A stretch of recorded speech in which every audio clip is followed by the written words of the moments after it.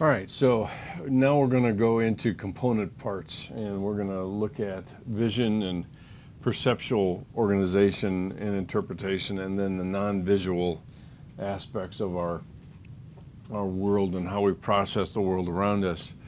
Um, as we've already been talking about, we mentioned the idea of transduction and um, how that is the um, uh, the transformation or the um, yeah the transformation of external environmental stimuli into um, excuse me into uh, neural impulses, and we have to have something that takes the raw data, the raw information coming from our environment, it, to interpret it or to translate it into the neural uh, uh, information or language of our neural system. And so in transduction, uh, essentially light waves are, at least in, from the visual perspective, light waves are, are converted into neural impulses by the retina and then are coded, uh, and these impulses travel up the optic nerve into the brain cortexes, in, into the brain cortex where they are then interpreted, otherwise known as perception. So in organizing uh, the data, the sensory data, into a whole perception, we break it down into component parts again, discriminating figure from ground. Uh, we organize the figure into meaningful form by following certain rules of grouping stimuli, and all of that is part of what we're just going to unpack here as we move along. But let's start with the most uh, uh, core component. Um, and the, um, let me fill this out while I'm uh, doing it. So stimuli is translated into neural impulses, uh, just as a review, okay?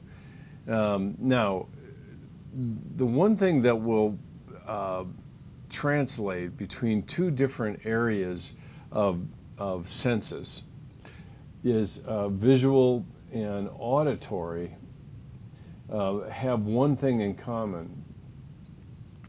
And it really is that the uh, information coming into them comes by way of uh, waves um, that uh, are on the electromagnetic scale. Um, and particularly when we electromagnetic let me get this down, um, scale is we perceive or sense a very relatively small, um, thin slice of this broad spectrum that we refer to as electromagnetic uh, energy.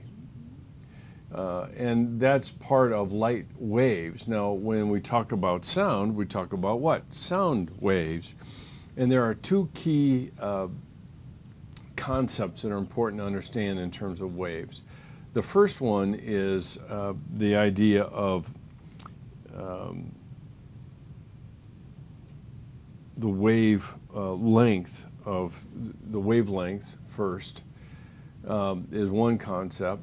The second concept is um, the wave amplitude. So not only length, you can look at this down here, and amplitude and I'll put it in everyday language so you understand it because uh, you are processing stuff that you don't even really probably realize. So when I draw a, a, wave, and granted it may not be the greatest in the world, but it is about as close as I can get doing using this um, using this tablet. The wavelength goes from this point to this point. In other words, how much are they bunched together? That's the length of the wave itself, okay? From this point right here and down to the base point uh, is what we refer to as amplitude. So this is frequency. That's, that's usually the language of wavelength. How frequently do they occur? And this is amplitude. In other words, how deep, uh, how deep the the wave is, and, and amplitude and frequency are the key components in understanding um, in understanding not only uh, um, light, but also uh, in terms of sound. Both of those play a part. For example, the, the wavelength, the frequency of these determines, at least in terms of light, determines the, the hue uh, or of a color, how deeply, um, how deep to how light it might be. Uh, in terms of amplitude, this has to do with intensity, which also then translates to us as brightness. Bright. And those two key components are part of what we refer to.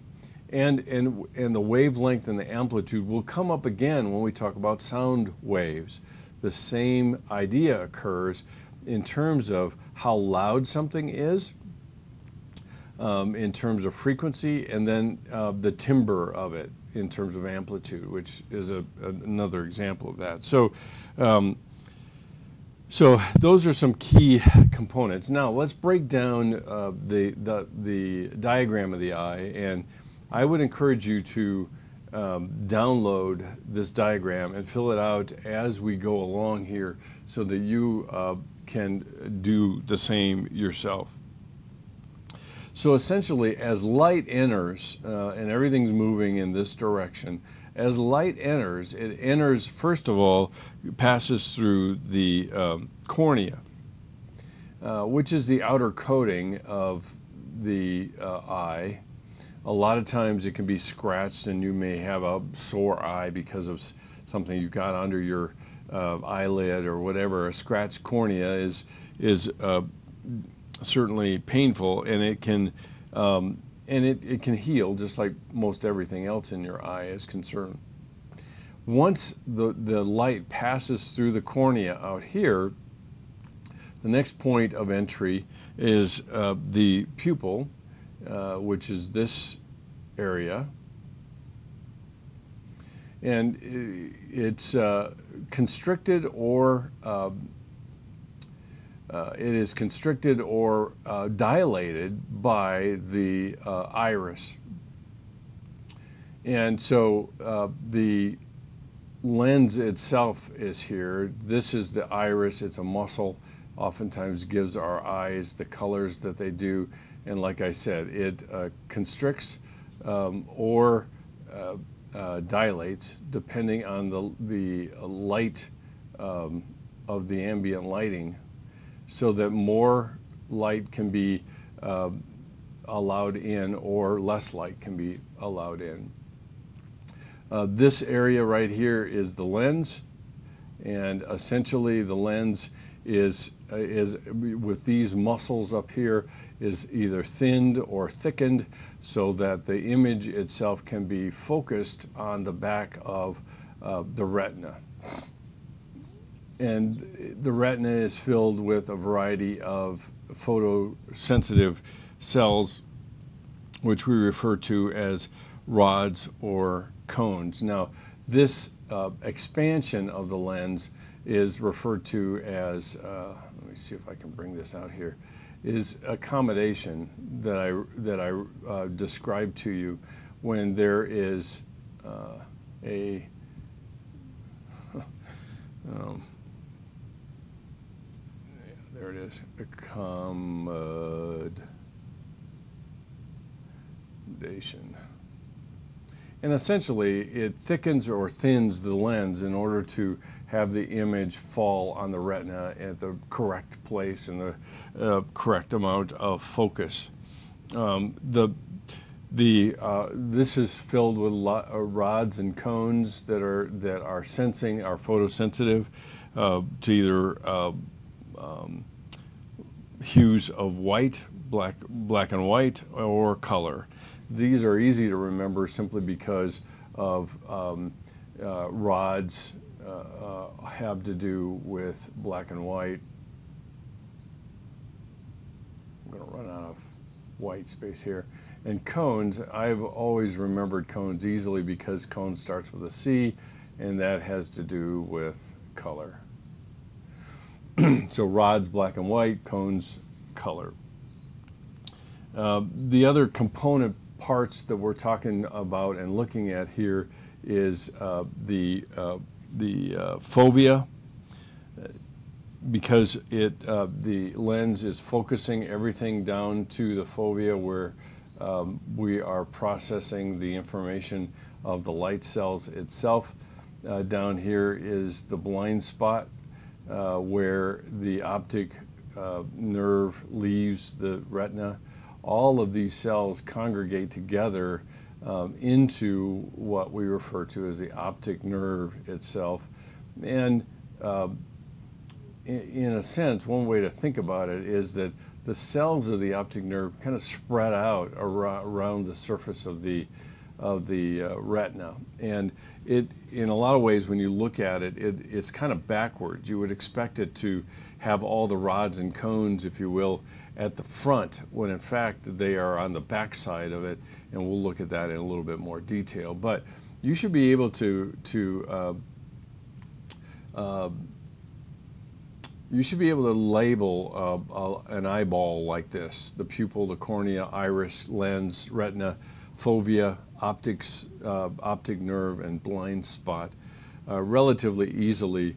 A lot of times when we talk about people who have um, are nearsighted or farsighted, this lens is part of the problem. It's focusing it either too short, and so the the um, the, the candle ends up being translated here um, or it's too long and it's translated out here and it's not focused on either direction. So this is nearsighted, this is farsighted, and in either case, that's what corrective lenses uh, allow us to um, do.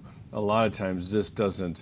Um, this doesn't uh, is either uh, shaped inappropriately, or even the eyeball itself is shaped um, more elongated or short, um, short in that regard, and that's what creates this Uh, poor image.